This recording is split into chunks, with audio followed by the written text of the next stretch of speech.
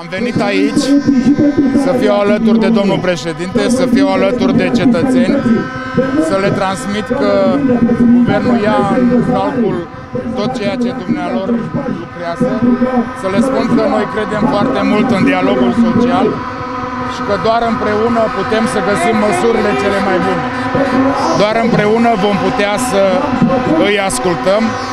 Îmi doresc să îi implic în reformele din PNRR.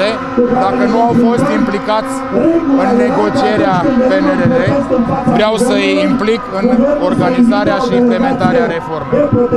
Și mai multe voi transmite la microfon. Vă mulțumesc frumos pentru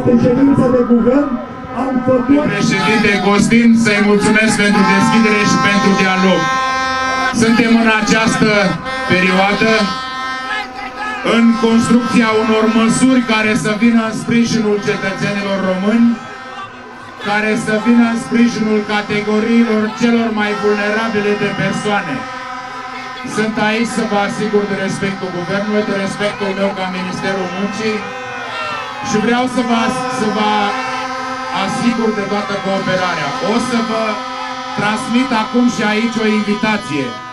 Domnule președinte, fac apel aici în fața cetățenilor, la toate sindicatele, la toate patronatele. Dacă am fost cu toții excluși din negocierea PNRR, vă invit acum să fiți parteneri în implementarea reformelor din PNRR, să ne asigurăm împreună că reforma legii salarizării, că reforma legii pensiilor nu va duce la sărăcirea cetățenilor români.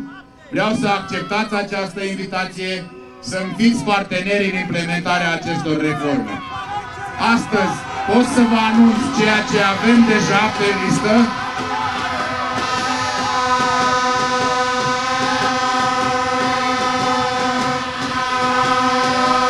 Eu sunt astăzi aici să vă arăt respectul meu în primul rând și al Guvernului și a partidului care mă susține.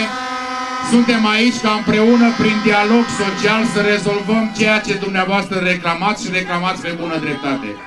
Începând de săptămâna viitoare, vom implementa măsuri care să vină în primul și în primul rând în sprijinul categoriilor vulnerabile. Asta vom transmite un material către toate sindicatele și vă vom invita la dialog pentru implementarea finală. Vă mulțumesc frumos pentru atenție și vă asigur în continuare de tot respectul meu.